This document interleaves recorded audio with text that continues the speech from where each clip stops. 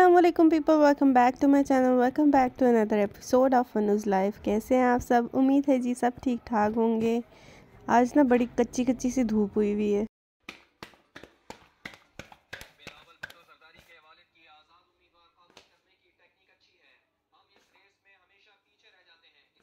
तो जी, जो जो इस्लामाबाद में रहते हैं, उनको पता होगा, इस्लामाबाद वाले जल्दी नाश्ता नहीं करते, वो थोड़ा लेट ही करते हैं, बारह बजे या एक बजे के करीब। तो सेम हमारी भी यही रूटीन है कि हम लोग भी लेट ही नाश्ता करते हैं। बस फिर किचन में मम्मा नाश्ता बना रही थी, मैं थोड़ा आके यहाँ पे बैठी, फिर हम लोगों ने सब में मिल के नाश्ता किया कज़न वगैरह भी थी।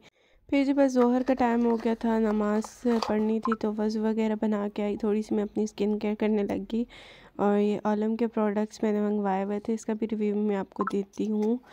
तो ये मैंने मंगवाए हुए थे, मैं इसको दो वीक से यूज़ कर रही हूँ और बिलीव में मेरी स्किन बहुत ही मज़े की सॉफ्ट हो गई है क्योंकि सर्दियों में मेरी स्किन बहुत ड्राई है जी पैचेस पड़ जाते हैं।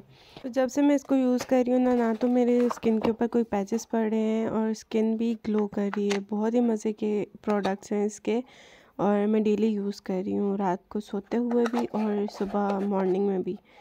स्किन केयर करना बहुत लाजमी है और स्पेशली अपना फेस रात को धो के उसको अच्छी तरह क्लीन करके फिर ही सोया के रहे क्योंकि जो दिन भर की डर्ट वगैरह होती है ना, वो आपकी स्किन में जम जाती है, जिसकी वजह से हैकनिंग हो जाती है। और मेरी स्किन तो है भी ऑयली लेकिन सर्दियों में थोड़ी ड्राई हो जाती है। कॉम्बिनेशन स्किन ही कह लें, लेकिन गर्मियों में मेरी स्किन के ऊपर से बहुत ज़्यादा ऑयल निकलता है, बहुत ज़्यादा। उसकी वजह से मैं भी तंग हो जाती हूँ। कोई मेकअप वगैरह कुछ भी नहीं स्टे करता मेरे फेस पे।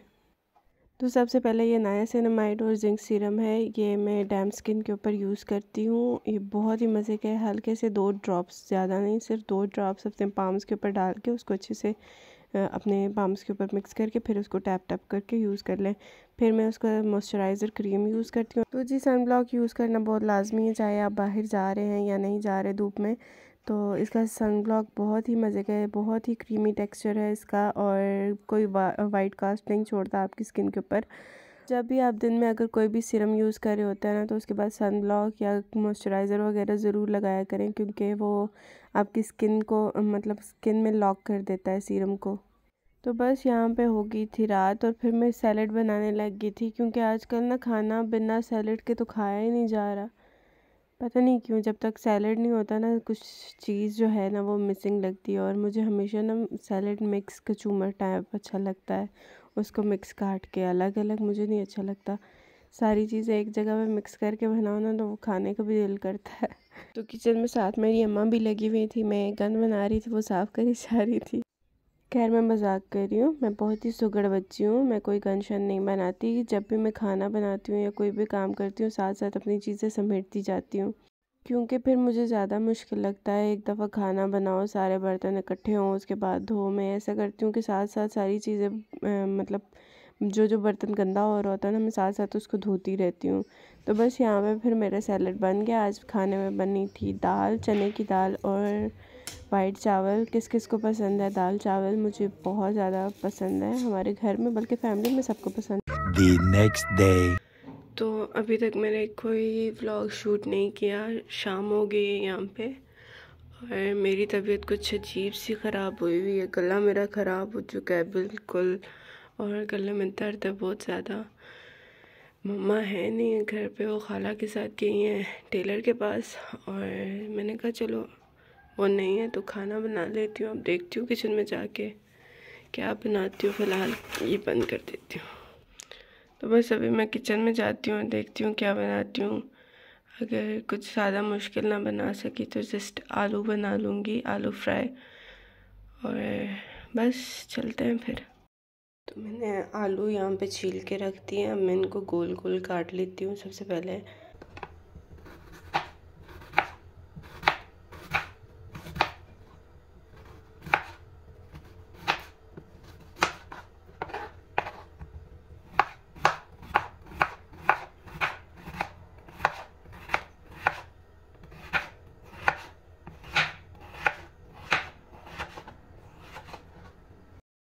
ये आलू मैंने यहाँ पे काट के रख दिए हैं सारे गोल गोल शेप्स में इस तरह। अभी जी मैंने ले ली है कढ़ाई। कढ़ाई के अंदर डालेंगे ऑयल तो जी ऑयल मेरा हल्का सा गर्म हो गया। इसके अंदर मैंने डाल दिया ज़ीरा। ज़ीरे को भी मिक्स कर लेते हैं इसके अंदर।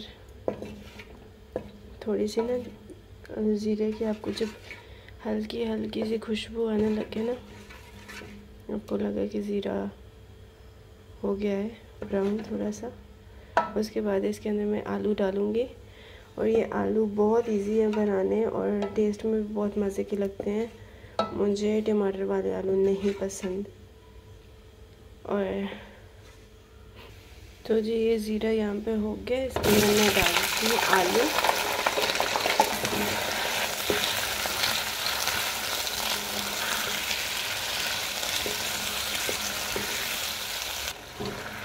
जी आलू को मैंने आलू को मैंने इधर इसके अंदर पाँच मिनट के लिए ऑयल में भून लिया है।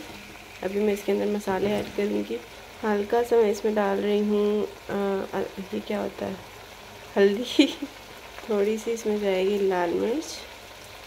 थोड़ा सा जाएगा सूखा धनिया। कुछ भर के मैं इसमें दरा मिर्च की ऐड कर रही हूँ, चिली फ्लेक्स जो एक चम्मच अभी मैं इसके अंदर डाल रही हूँ, नमक। थोड़ा सा कम कर हैं। इसको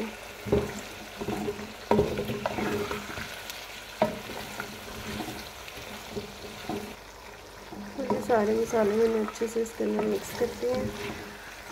अभी मैं इसके अंदर ऐड करने वाली हूँ कलौजी ये जी मेरे पास है कलौजी ब्लैक सीड्स इसके अंदर ये डालेंगे। और इसके साथ बहुत मज़े का फ्लेवर आता है। इनका